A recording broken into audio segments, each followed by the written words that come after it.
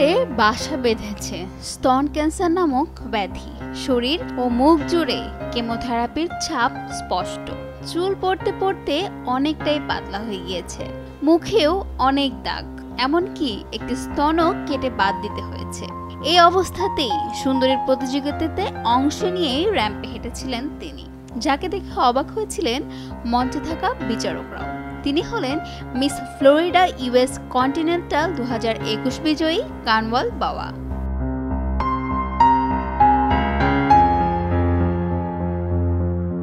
কানওয়ালের আত্মবিশ্বাসের কাছে হার মেনেছে শরীরের প্রতিবন্ধকতা। প্রতিযোগিতা শেষে তাকেই সেরা সুন্দরী মুকুট পরিয়ে দেন বিচারকরা। দু হাজার একুশের মিস ফ্লোরিডা ইউএস কন্টিনেন্টালের খেতাব জিতে নিয়েছিলেন তিনি। কানওয়ালের জন্ম ভারতের দিল্লিতে। সেখানেই বড় হওয়া। উনিশশো সালে তিনি দেশ ছেড়ে ফ্লোরিডা চলে গেলেও দিল্লিতে এখনও তার পরিবার রয়েছে।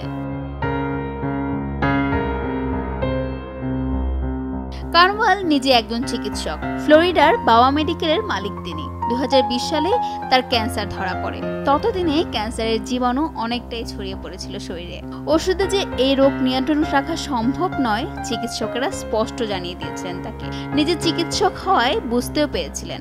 একাধিক পরীক্ষার পর দু হাজার নভেম্বর মাসে অস্ত্রোপচারের সিদ্ধান্ত নেওয়া হয়। ক্যান্সার সংক্রমণ রুখতে অস্ত্রোপচারের ফলে বাদ যায় তার একটি স্তন। যমজ সন্তানের একা মায়ের পক্ষে অস্ত্রোপচারের সিদ্ধান্ত খুবই কঠিন ছিল।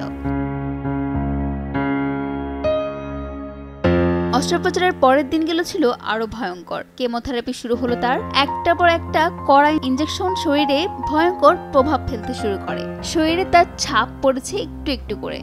চুল অনেক পাতলা হয়ে গিয়েছে, হাত পায়ের নখগুলো যেন কেমন কালো হয়ে গিয়েছিল। গায়ের চামড়া জেল্লা হারিয়ে ক্রমে রুক্ষ হয়ে উঠছিল। শরীরে নানা ধরনের দাগও ফুটে উঠছিল। সেই দাগে ভরে গিয়েছিল মুখও। নিজের সঙ্গে যুদ্ধ করছিলেন কানওয়াল, মানসিক যুদ্ধ।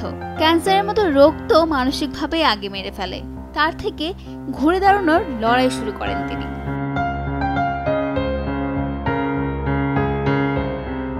ক্যান্সারের কাছে হার মানেনি কানওয়াল। অস্ত্রোপচারের কয়েক মাসের মধ্যেই তিনি মিস ফ্লোরিডার প্রতিযোগিতায় মঞ্চে হাঁটেন। শরীরের সমস্ত প্রতিবন্ধকতা লুকিয়ে নয়, বরং সেগুলো যে অস্বাভাবিক কিছু নয়, তা জানাতেই খোলামেলা পোশাকে র্যাপ হাঁটেন তিনি।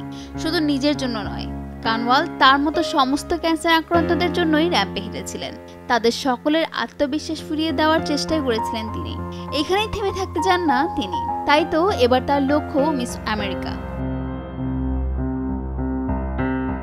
ফাতেমা সময় সংবাদ ঢাকা।